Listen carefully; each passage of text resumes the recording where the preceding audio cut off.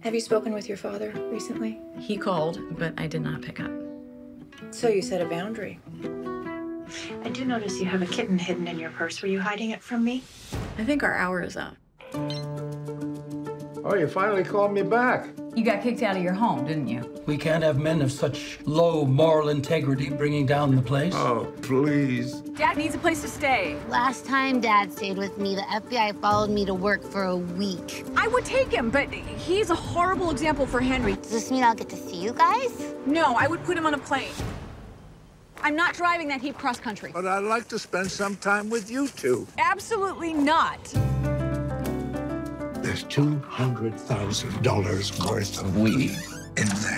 I can't unload it on my own. I'll help you.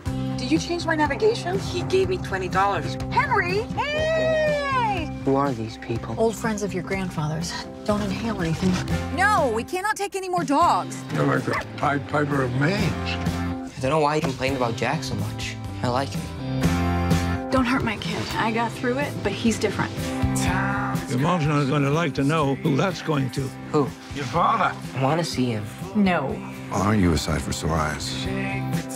He's the worst possible man for me. I tell Misty that all the time. Please tell me Misty's your cat. You want me to tell you Misty's my cat? Who is she? My cat? She's your wife, isn't she? She is. Oh! I have set a boundary. Hello. It's a line in the sand, in the concrete, actually. Good morning.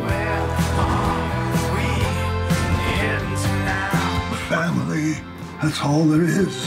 I used to be able to make you laugh. Oh, ah. See? I still laugh. Christ, Jack. I thought you were a Buddhist. Oh, I am. But you bring out the right wing Christian in me.